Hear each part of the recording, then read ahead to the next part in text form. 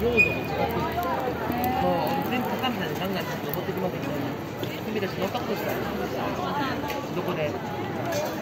大きな京都でも4年間見てました。浅草も地主ありますけど同じ会社ですけど大阪だけ安くしてま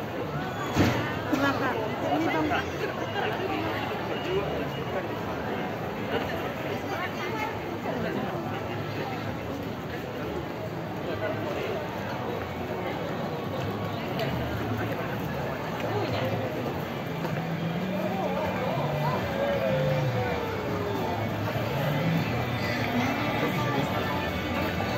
여기가 꽃이 골목인가 봐. 야 꽃이지.